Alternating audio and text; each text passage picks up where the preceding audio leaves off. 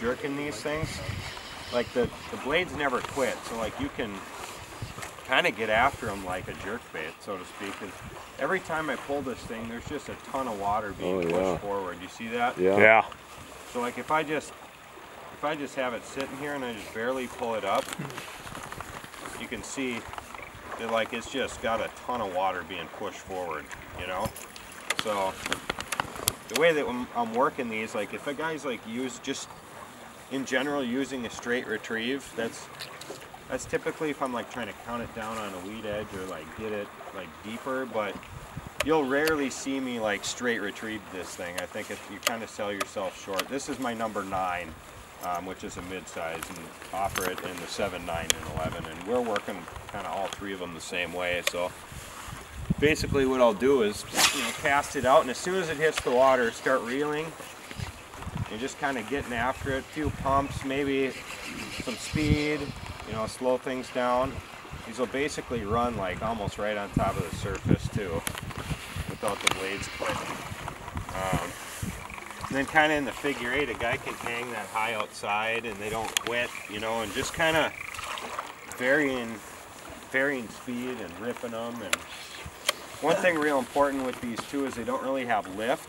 Um, so like as soon as that bait lands, you want to like get on it and start reeling. And I think that's like the biggest trigger because if we're counting, if we're counting on the fish being right where the bait's landing, if we want to engage a fish right away, like just kind of like getting that, playing that cat and mouse game with the fish. And as a bucktail, you don't really have to, or for the revolution as a bucktail, you don't have to worry about the blades quitting. So like slowing it down, speeding it up, you know, you guy can like basically blow them out, and they uh, will run on the surface too. Um, Well, watching Mike work this thing, if you watch that bucktail coming in, to me, it's running scared. I mean, this Right. thing is. like it's a bait trying to get away. I mean, if you think about these suckers and you watch these suckers, if you're just dragging them and they're just swimming, that's kind of like a bucktail coming in vanilla. This thing is running like it's nervous.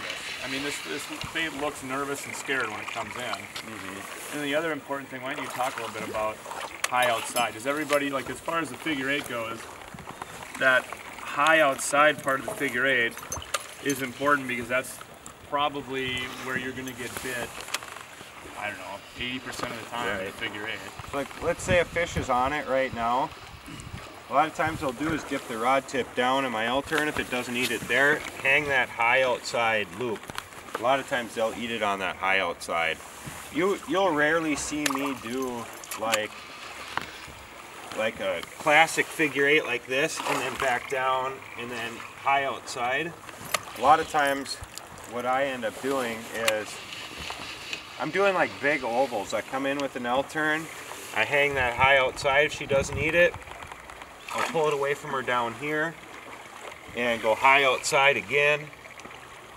Pull it down, you know what I mean? Like kind of like And down, of- down at the boat is natural because these rods are so big, but you're also like, if, if you're coming in, come in for me real quick. Like you're coming in, say you see a fish right here, okay, it doesn't eat, now speed up and drop the rod. You're almost like taking it away from them, saying, all right, you didn't want it there, all right, we're gonna mm-hmm. feed you high outside. So you take it away, drop it down, so then all of a sudden their mentality is, oh shit, there it goes. And then they, they, they're focused, instead of looking right at the boat and the trolling motor and the prop and everything else, they drop their focus to this thing getting away, they go down, and then it turns and hangs high outside. and that's their And to opportunity for the bite. And a lot of times too, they they primarily feed up.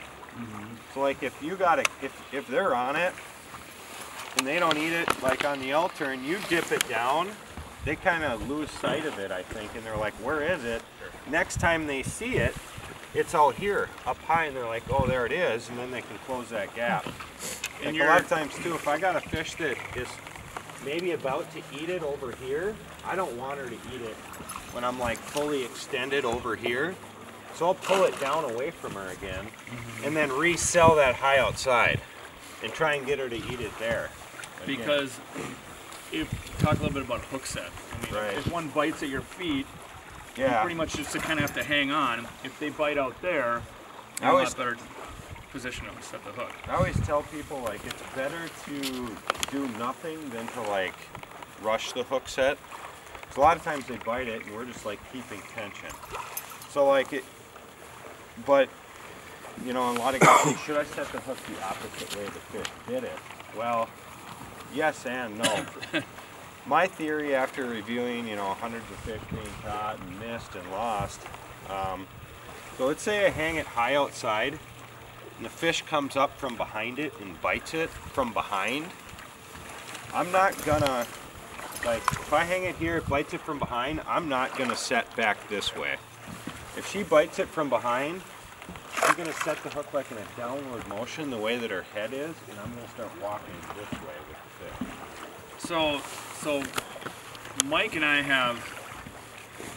Here, just kind of keep doing ovals like that for me. So Mike and I have really like spent a lot of time talking about this, and and so a lot of times, yeah, setting back towards the tail is is a real popular thing to do, and it's not it's not the wrong thing to do. But what we've kind of found, like different fish will eat differently at times, and a lot of these fish, like these Minnesota fish, they'll do like a so like if a lot of times they'll cut the corner. They'll come in here, they'll pivot and they'll turn out and they'll eat high outside out here. So if you set back into them, you're hooking them in the left corner of the mouth.